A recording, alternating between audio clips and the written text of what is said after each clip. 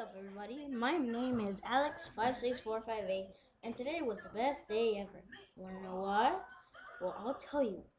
Because today was the last goddamn day of school. Yes!